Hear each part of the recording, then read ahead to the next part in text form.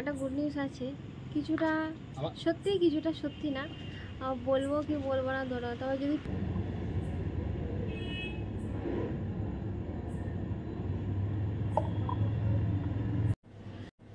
hello friends welcome back to আমার channel আমি পুতুল। আর এখন থেকে হচ্ছে ব্লগটা শুরু করছি আর এখন বাজে বিকেল প্রায় পাঁচটা চল্লিশ। বিকেল অনেকটা হয়ে প্রায় সন্ধ্যের দিকটা এটা বলতে গেলে। কিন্তু সন্ধ্যা এখনও হয়নি, আর চাঁদ হচ্ছে অল্প অল্প দেখা যাচ্ছে। তো যাই হোক, এখন থেকে ব্লগটা আমি শুরু করছি তোমাদেরকে সাথে নিয়ে। আর হচ্ছে, তোমরা হয়তো আমার মাথায় গামছা দিয়ে ভাবছ যে এখন হয়তো আমি স্নান করেছি, ঠিক ঠিক তাই আমি এখন স্নান করেছি। এখন এসে ছাদে আমি জামা কাপড় মিলতে। তো ওই তাই জন্য হচ্ছে আরও স্নানটা করে নিলাম মানে পুরো ঘেমে গেছিলাম। মানে জামা কাপড় ধুতে গিয়ে। আর গরম তো ভালোই আজকে, তার জন্য ভাবলাম জামা কাপড়গুলো ধুয়ে নিই, তাও আমি এখন এইদিকে ছাদটাতে এসেছি। এদিকে ছাদের দরজাটা একটু খুলেছি মানে তাহলে একটু ঠান্ডা হাওয়াটা। আমাদের ওপরের ঘরটা না এতটাই গরম হয় মানে রান্নাঘরে ঢুকলে বা আমাদের ঘরটা তো বলতে গেলে ভালোই গরম হয় প্রচুর। এই এই এই দরজাটা খুলে দিলে একটু ঠান্ডা হাওয়াটা আসে, নিচের দিকে যায়। আর ওই ছাদে জামা কাপড় মিলি, এই ছাদটা খুবই ছোট। তো যাই হোক, তাহলে এবার ওই ছাদটা থেকে।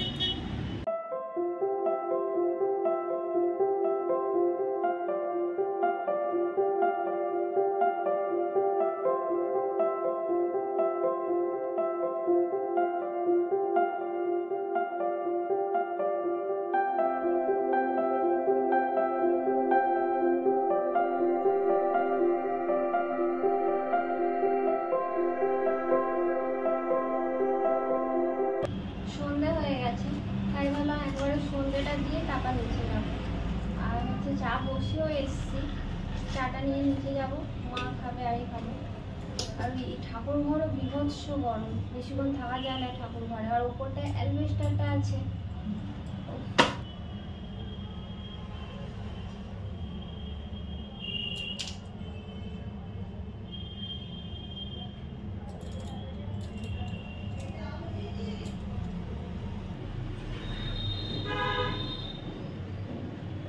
হয়ে গেছে, এবার আমি নিচে যাব। আর ওদিকে হচ্ছে আমার মামি এসছে, গলা বাছি ডাকছে, আর হচ্ছে মামির হচ্ছে শরীর খারাপ হয়েছে, কদিন ধরে জ্বর, কদিন আসেনি। আজকে অবশ্য মানে বেলার দিকে এসেছিল একটুকু নিয়ে এসেও যেতে চাইছে না। ওর বাবাকে জোর করে নিয়ে গেছে মানে গা, তখনও দেখলাম গা একটু গরম গরম ছিল, তা আমিও রাখার জন্য জোর করলাম না।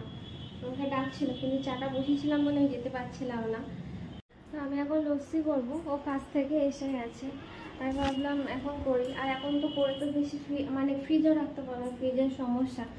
আজকে একটা জিনিস করেছি, কি করব? মানে ঠান্ডা জল তো ফ্রিজে মানে ওই ফ্রিজটা তো মানে যেটা কোল্ড ড্রিঙ্কস থাকে, ওটা তো রাখতে পারব না মানে জায়গাই নেই। এবার হচ্ছে মেন হচ্ছে আমার বরফ লাগবে, কি করে বরফ রাখব? তা দেখলে হয়তো অবাক হয়ে যাবে। আইসক্রিমের ফ্রিজে যা আনতে আনতে বলে গেছে, একটুকুনি জমেছিল অবশ্য। না না আছে জমে। আইসক্রিমের ফ্রিজে না, এই যে মানে বরফের যে ট্রেটা আছে, ওটা তো ঢোকাতে পারব না। তাও এইটা বুদ্ধিবার করে প্লাস্টিকের গ্লাসে মানে জল দিয়ে আর হচ্ছে আইসক্রিমের ফ্রিজে ঢুকিয়ে দিয়েছি বরফ করার জন্য। মানে কি করব? আর লস্যি দিকে ঠান্ডা না হলে ভালো লাগে না।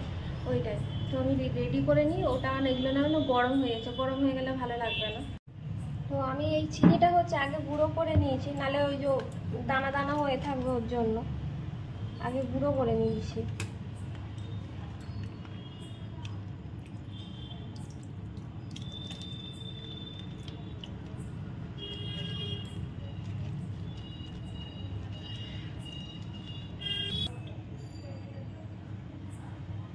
একটু এই নুন দিয়ে দিলাম।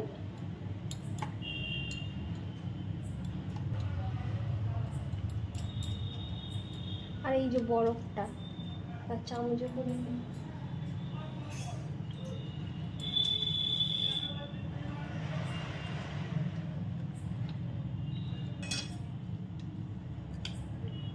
বুড়োটা দেখেছে? পুরো গ্লাসের মতন হয়ে গেছে সেপে কিন্তু ভেতরটা ফাঁপা, পুরো জলটা জমেনি মানে বেশিক্ষণ রাখা হয়নি। ওর জন্য এটা হচ্ছে। দেখতে হেভি লাগছে। আজকে জলটা অল্প দিই। আর পাতলা না হয়ে যায়, এটাই হচ্ছে ব্যাপার বেশি।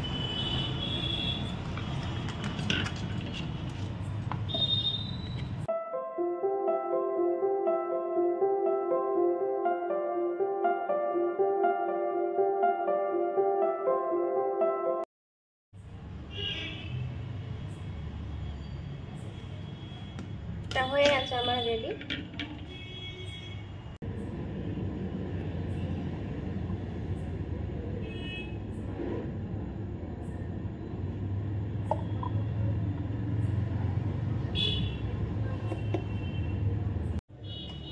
আমি এই গ্লাসটাতে নিয়েছি প্লাস্টিকের গ্লাসটাতে।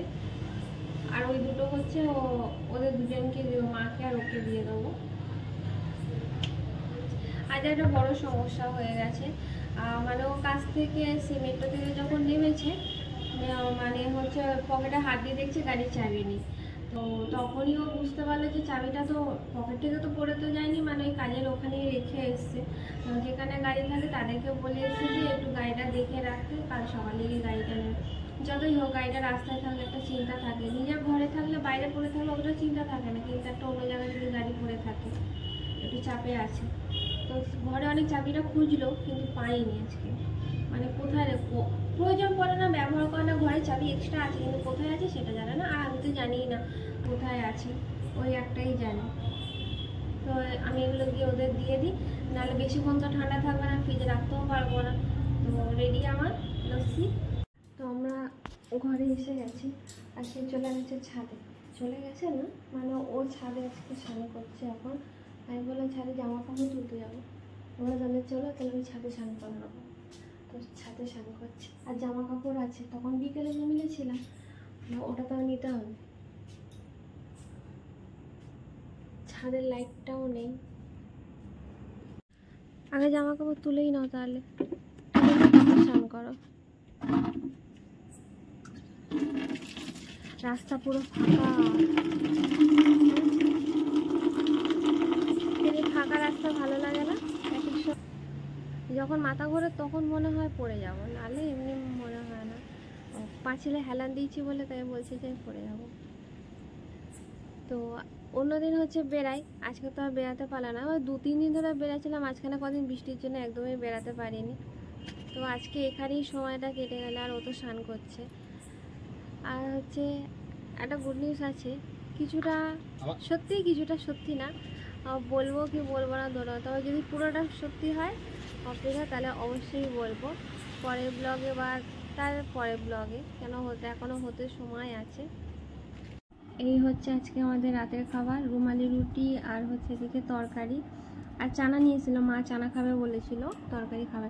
আর তরকারিটা এই রুটিটা গরম করেছে, চাটুর মধ্যে, একটু পুড়ে পুড়ে গেছে। ছোঁয়াটা কি তোমার লাগে? বাঙাল ভাষায় কথা বলছে। আর বাবা তো ফোন করলে মানে পুরো বাঙাল ভাষায় কথা বলে। আর মানে বাবাকে আমি এখনই বলছি বাবা তুমি ওখানে থেকেই যাও তোমার ছোঁয়া লেগে গেছে পুরো। অবশ্য উনি ওখানকারই লোক। মানে কোনো কিছু বাদ নেই কি আমি তো বলতেই পারি না। কি বলে? কি বলে বাবা? হ্যাঁ কী সব ভাষা। সে যাই হোক। বাবা ভালো পারে আর মা মাও পারে। তার সাথে বেশি বাবা ভালো পারে। এই যাই হোক। আমি? ভালো পারি মায়ের থেকে। কোনোদিন বলতে শুনি তোমাকে হ্যাঁ। অতটা। বাবা যতটা আমার মানে কইবে তইবে তো আমি কইব। ওরে বাবা রে। হ্যাঁ যার যার ভাষা। আমার তো ভাষা না ওটা। বাংলাদেশে দু রকম ভাষা আছে। তা ও তো খাওয়া শুরু করে দিয়েছে। এবার আমি খেতে বসবো। মানে খেতে বসে আছি। বলতে গেলে শুরু করিনি, এবার শুরু করব। তো চলো ভিডিওটা এখানেই শেষ করছি। আর দেখা হচ্ছে পরবর্তী ভিডিওতে। ভিডিওটা যদি ভালো লেগে থাকে তাহলে অবশ্যই লাইক আর সাবস্ক্রাইব করে দিও যাতে আমি এগাতে পারি। আর প্লিজ তোমরা আমার পাশে থেকো। আর আজকের মতন গুড নাইট টাটা।